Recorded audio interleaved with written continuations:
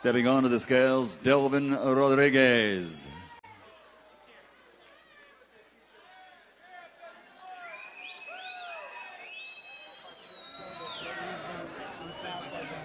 One hundred fifty-three pounds, Delvin Rodriguez.